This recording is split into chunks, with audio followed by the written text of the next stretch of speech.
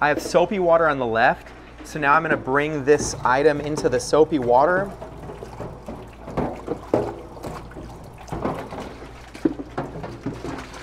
I can then take this item that's been soaked in soapy water and again rinse it down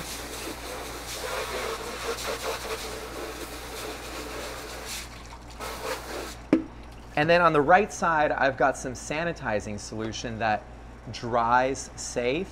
So uh, what this will do is it will kill any bacteria, any viruses that are on these surfaces uh, instantly.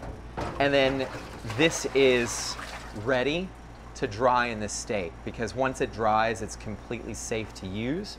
So now I can put it on a drying rack which we've constructed to be right over the sink. So all of the drippage just drips into the sink and down into the drain, leaving our floors dry and not messy.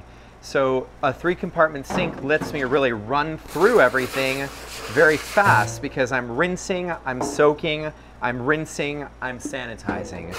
And so I can run through tons of dishes uh, pretty efficiently, even by hand, um, which is what we do. We don't have any dishwashers in here. Uh, I did, however, design our addition with, so when we poured the footing, right next to the footing in our new addition, I introduced new drain lines that I connected to the front drain, which is kind of remarkable because this whole side of this house had no plumbing, zero before the bakery.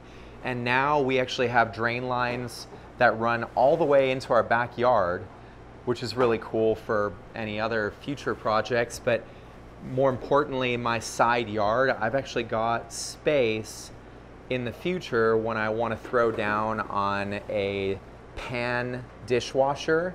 They're like made for sheet pans to be able to throw in sheet pans and get them done really fast because we hate the manual cleaning of sheet pans that we have to do all the time, but it's what we have to do.